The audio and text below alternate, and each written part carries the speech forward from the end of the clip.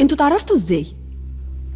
كنا بنمثل مع بعض فيلم وكنت أنا لسه وجه جديد وكانوا بيعملوا لي تيست في فيلم فكان الفيلم ده بطولة عماد حمدي وهدى سلطان وكمال الشيني كان فيلم إيه؟ كان اسمه زوجة من الشارع. فأول مرة ألتقي بيه وأنا ما كنتش بروح التصوير إلا معايا ماما وده كان شرط بابا الله يرحمه شرطه إن أنا عشان لسه صغيرة والوسط صعب فما أقدرش أخرج إلا ماما معايا. فكانت بتيجي معايا في الاستوديو كل يوم في التصوير. فكانت ماما معايا فكان بعد التصوير ياخدنا يوصلنا البيت أنا وماما. ما يسيبنيش أي حد يوصلنا.